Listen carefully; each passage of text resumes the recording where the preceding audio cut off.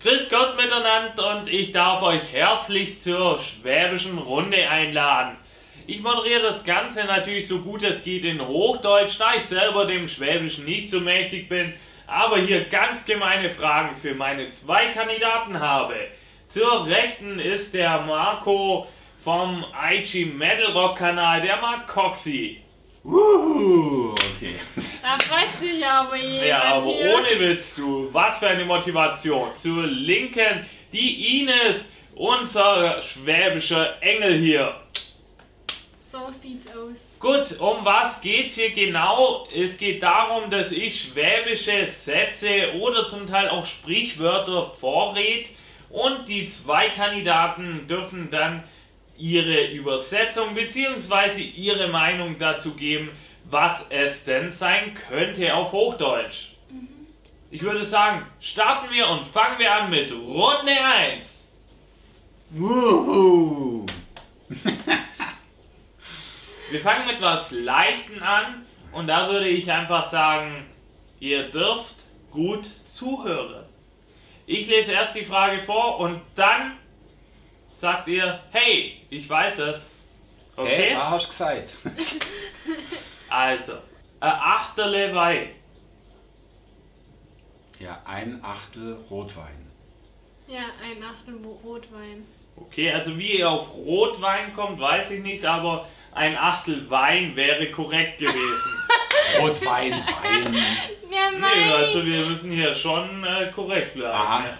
Okay, andere Frage. Gibt es überhaupt einen Wein in irgendeiner anderen Farbe außer in Rot? ja, Weiß. weiß. Weißwein.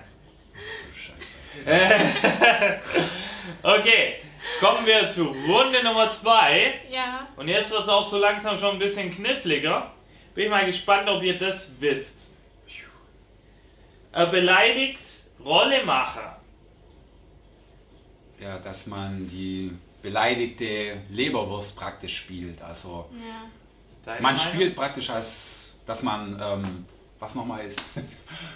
Er beleidigt ja, dass man beleidigt ist. Man Rollemacher. spielt, dass man beleidigt ist. Ein Schnute. Ein Die Rollemacher. richtige Definition laut Internet wäre eingeschnappt. Ja, eingeschnappt. Ja gut, ja, man spielt den Beleidigen. Eingeschnappt. Ja, ein, Ja. Okay. okay. Kommen wir zu Frage Nummer 3. Und zwar für euch beide. O gute Party machen. Ja, dass man gut miteinander klarkommt. Meinetwegen, es gibt ein Projekt und dann sagt man, okay, Gruppenarbeit, du, du und du. Und wenn man dann gut zusammenarbeitet, dann ist man eine gute Partie. Ja, oder man hat einen guten Mitspieler, also man hat eine gute Partie gemacht. Ich lasse beides gelten, dies wäre korrekt für mich. Sehr gut. Frage Nummer 4. Ein komischer Knilch. Ein komischer Mensch. Ein Gut. Knilch ist halt klein. Was sagt Ja. Mark Coxey? Ich hätte gesagt, ein äh, komisches Kleinkind, ein komisches Kind. Also ein seltsamer Mensch gilt. Ist korrekt. Na gut, wenn man die Lösung kennt. Nee, ich habe das echt nicht genau geguckt. Jetzt kommt ein wirklich sehr schwieriges Sprichwort, nämlich, ähm, was man vielleicht jetzt nur übersetzungstechnisch nicht versteht. Dann bin ich mal gespannt, ob ihr es wisst bei Frage Nummer 5. okay. Ein Lehrer Gruß, Gott barfuß. Das ist ein Sprichwort. Ja, was bedeutet das? Ja, also ein leerer Fuß, also Nein. ein Fuß ohne Schuhe, der geht barfuß. Ich, ich wartet, äh, da war vielleicht ein Dialektfehler. Äh, Lehrer Gruß, Gott barfuß. Also Gruß. ein Gruß, wo nichts drin ist, also kein Ich grüße dich, ähm, ist praktisch so, wie ähm, wenn du draußen in der Stadt äh, ohne Schuhe rumläufst. Nur mit Barfuß. Okay, Also es ist auch nichts Ganzes, sozusagen. okay. Was meint Ines zu diesem Sprichwort? Also, ähm, Kannst du es uns vielleicht mal wörtlich übersetzen? Also was würde es auf Hochdeutsch heißen, so wie ich es gesagt habe? ein leerer Gruß geht barfuß. Genau, korrekt. Und was denkst du, könnte das vielleicht bedeuten? Ähm, also ein herzloser Gruß, der ähm, kommt ja nicht von Herzen. So ähnlich. Interessante Theorien, leider war keine davon Oder richtig. Moment, ähm, es ist praktisch so, ähm, ein leerer Gruß, also ein Gruß, wo nichts drin ist, ähm, ist praktisch ähm, wie barfuß laufen. Man ist da dann nicht mit dem Fuß in einem Schuh drin, wenn man barfuß läuft. Es sind interessante Theorien, leider davon keine richtig. Ähm, richtig Auflösung! richtig wäre gewesen, kein Besuch ohne Mitbringsel. Aha, So ein Dreck. aber wirklich. Also quasi, dass man nicht ohne leere Hände vorbeikommen darf. Wenn ich jetzt jemanden besuche, sollte ich schon eine Merci-Schachtel oder ein paar Blumen mitbringen. Muss nicht sein. Ja, zumindest laut dem Sprichwort. Ja. Gut, wir kommen aber zu Frage Nummer 6. Errierle Gott über Erbrierle Es wird ja immer bescheuerter. Ist wieder ein Sprichwort. Arrible, Gott über. Errierle Gott über Erbrierle. Ja. Ja, Brille ist äh, Brühe, also äh, Genau. kleine Menge Brühe. Wunderbar, das- das ist schon mal gut. Aber. Rierle wird äh, kein Röhrchen sein. Weil das wäre dann nämlich ein Röhrle. Also ich buchstabiere es, falls es vielleicht auch ein Aussprachefehler ist von mir. R I A H L E. Reale.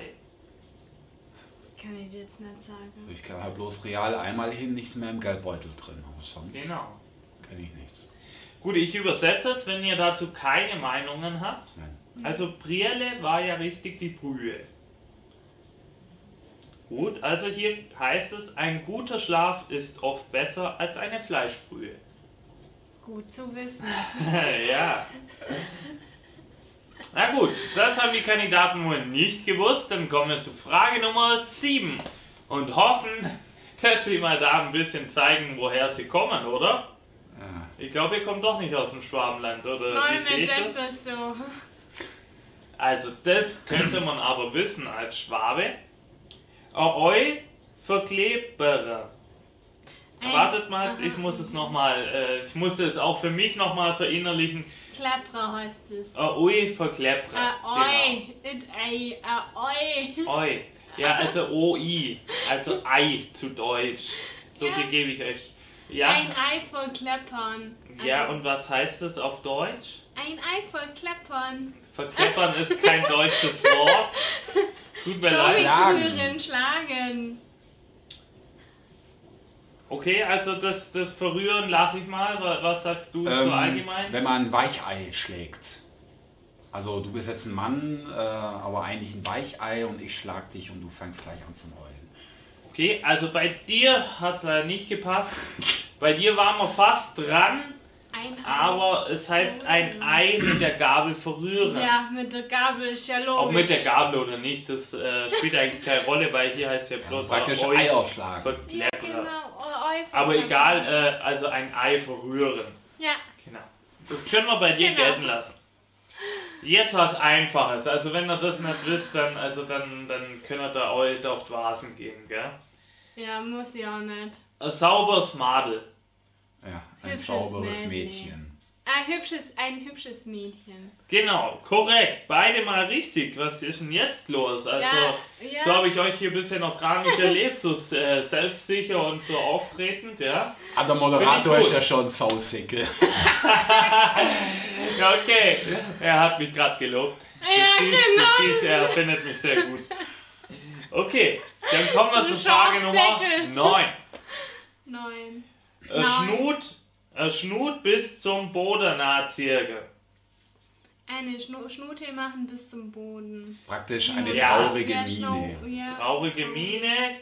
Ja, ich bin noch nicht so ganz zufrieden. Ein trauriges Gesicht. Es, es gibt auch ein Wort im Hochdeutschen da dafür.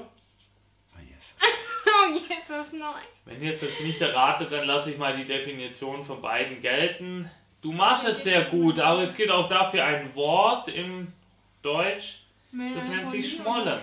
Ah. Jesus Maria, das hätte ihr nie gewusst. Oder tödlich beleidigt sein kann man es auch nennen. Tödlich. Oh, ja. Jetzt haben wir noch zwei Fragen. Wir kommen einfach zu Frage Nummer 10.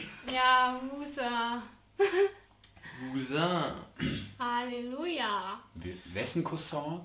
Also jetzt, jetzt seid mal gespannt und macht die Lauscher ganz spannend auf, weil jetzt geht's los. Zum Fresssack wird keiner geboren, aber aufzogen. Was heißt das auf Deutsch übersetzt? Das heißt, dass Nur man, übersetzen. Keine Anspielungen etc. man heißt, dass man praktisch als normaler Mensch mit normalem Appetit geboren wird und dann praktisch zu einem Mensch mit viel Appetit erzogen wird. Durch die Gesellschaft, durch die Eltern oder durch wen auch sonst immer. Okay, danke. Ines, was sagst du? Ja, wie gesagt, ähm, man wird nicht als. Wie soll ich Fressack übersetzen? Ich glaube, Fresssack gibt es auch in Hochdeutsch als Fresssack. Geboren, sondern man, man, man wird zu einem erzogen. Genau. Okay, also ich könnte also beim Marcoxy so einen halben Punkt, könnten wir schon locker machen. los? Und bei dir, da machen wir natürlich schon einen ganzen Punkt, gell? also kein Thema. Danke, danke. Wir kommen zur aller, aller, allerletzten Frage. Frage Nummer 12, wenn ich mich nicht täusche. Zum Geburtstag hätte ich meiner Frau einen schönen Spaziergang geschenkt. Da hat sie sich der Blumenstrauß selber pflegen können.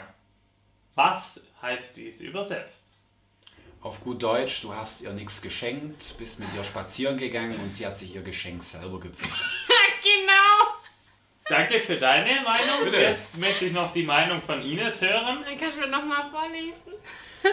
So. Übersetzen. Gerne. Zum Geburtstag habe ich meiner Frau einen schönen Spaziergang geschenkt. Ja. Da hat sie sich der Blumenstrauß selber pflegen können. Ja, okay. Ja, zu mein, äh, zum Geburtstag von meiner Frau habe ich ihr einen äh, Spaziergang geschenkt, also einen kleinen Ausflug ins Grüne, aber ist ja wurscht. Und dann konnte sie ihren Blumenstrauß selber pflücken. Gut, was hieß dieses Wurst? Das haben wir als Hochdeutsche nicht verstanden. Lassen wir gelten. Ich gebe beide einen Punkt, das war korrekt. Jesus Gott, endlich. Ja, Endlich! Ich würde einfach sagen, ihr habt es beide sehr gut gemacht. Einen wirklichen Gewinner kann ich gar nicht so direkt sagen. Ich habe auch nicht mitgezählt, muss ich ehrlich sagen. Aber für mich persönlich seid ihr beide Gewinner, denn ihr seid wahre Schwaben, denn ihr kennt euer Land am besten. Ich bedanke mich, dass ihr heute da wart, dass ihr euch auch die Zeit genommen habt, hier ins Studio zu kommen. Vielen, vielen Dank. Mich würde es freuen, wenn ihr bei der nächsten Runde auch mal wieder dabei seid, wenn es wieder heißt Schwäbisch gefragt. Und ich möchte eins wissen. Hättet ihr alle Antworten geben können? Schreibt es in die Kommentare, was euch stutzig gemacht hat oder was ihr interessant fandet. Bis zum nächsten Mal. Ciao. Danke. War sehr gut. Bitte. Für eine Million Euro komme ich doch gerne wieder. Ja, ich wollte gerade sagen, über ihre Loge müssen wir noch reden, aber das Sehr gut. Ja, Machen wir. Definitiv. Die 50.000 sind Ihnen sicher und äh, der Rest können wir ja dann machen. Was kriegt dann Sehr ich? gut. Ja, äh, das Wasser, was sie wollte, das steht vorne, gell? Das ist kein Problem. Ja, Also war ich nur vielen- Gast. Ja, ja, und feuchte Händedruck kriegen sie auch. Okay, ich muss jetzt meine Hände desinfizieren. Ciao! Ja.